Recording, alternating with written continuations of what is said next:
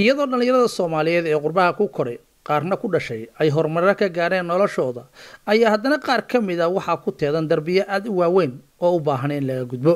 Cabdisamed yuusuf fardaale oo loo yaqaana a j waa garyaqaan soomaaliyeed oo bartay qawaaniinta dhexdhexaadinta khilaafka ka baxsan maxkamadaha dowladda.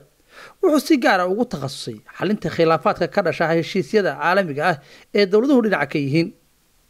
Cabdisamed waa nin maxaa yidhahdaa soo bartay sharciga dhinaca maraykanka. Maxaa yidhahdaa specializationkaygana waxaa weeye a d r waxa la yidhaahdo dadka kala saarinta iyo dhexdhexaadinka. Kala saarintana waxaa weeye wax ku saabsan private adjudication oo ahayn wax dowlad ku jirin. So markii tuls ahaan dowlad isqabsadaan jabuuti oo kale iyo emirates markii isqabsadeen d p worldka shirkadda amina dekadda. Labada dowlad dowladee la isticmaalayaa sharcigiisa soo galayso meesha soomaha. So markii saas waxaasoo kale soo gasho waxay sameeyaan arbitration clause bay iska saxeexaan arbitrationkana maxay ka desaagaraynayaan meesha la geenayo. Example for example tus ahaan maxaa la geen karaa i c c ga uh, france paris. Maxaa la geen karaa maxaa lahdaa l c i a ga which is in london so kuwa jabuuti specifically gaar ahaan markii la fiiriyo london ku heshiiyeen. So markaas arbitrationka senatkaas baa dhadhexaadiyey markaas kala saaray amarkana soo dejiyey so maxaa la yidhahdaa anigana dhinacaas baa focuskee yahay. Cabdisamed ayaa tartankii saddex iyo tobnaad ee sanadlaha ah wuxuu ka galay kaalinta saddexaad kaas oo ay qabato sharci yaqaanada shuruucda ganacsiga ayna u qabato sanad kasta adduunka isaga iyo ardo kale oo matalaya dalka maraykanka waa arrin xilligan lagu jiro baahi weyn looga qabo dalkeenna soomaaliya oo hadda soo kabanaya dhibaatooyinkii in badan ragaadiyey.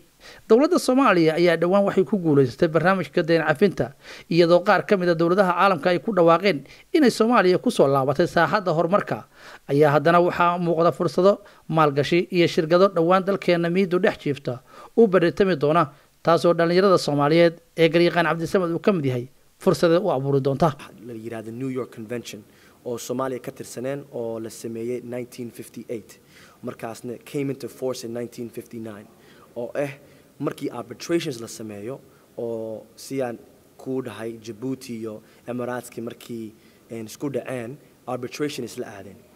Arbitrationka labadaa dowlad haddii new york conventionka ka tirsan yihiin waa qasab intii go-aanka la gaaray oo maxkamaddaa gaartay intii raacaan soomaaliya haddoo kale ma ka tirsana so argument haddii haddii haddii qof isku dhacaan dowlad isku dhacaan arbitration jiro argument wii haasataa oo dhahaan anaga ma aqbalayno because anaga dowladdeena ma ka tirsana treatygaas laakiin abaab abaab weyn manoo furayso garyaqaan cabdisamed ayaa sheegay inay dowladda soomaaliya dhinac ka noqoto heshiiska caalamiga ah ee kun sagaal boqol konton iyo sideedii lagu saxiixay magaalada new york ee loo yaqaana new york convention ee ku saabsan dhinacyadu markii ay heshiis gaalaan ogolaanaya inay khilaafkooda xalistaan. Waddankeena intii la maal la geliyo oo kale oo la rabiyo intii la dhiso investmentsa loo baahan yahay. So tuls ahaan hadda dowladdii waxaa world bank dadkay haasatay waa loo cafiyey soo maha waa ku guulaysteen maasha allah laakiin haddii la rabiyo inta la ballaariyo investmentka ka dhici karo soomaaliya wax fiicanay noqon lahayd intii new york conventionka la sign gareeyo. Because maxay tusi lahayd caalamka iyo corporationka intii yihiin dowlad aqbaleyso sharciga. Markii la isku dhaco haddii maxkamad laisla aado oo arbitration ah oo soomaaliya ku taa soomaaliya ku taalin kala bixi kala saari karo oo markaana maxaa la yidhaahdaa ay aqbali doonaan. Cabdixakiin cabdi ismaaciil warbaahinta qaranka minnesota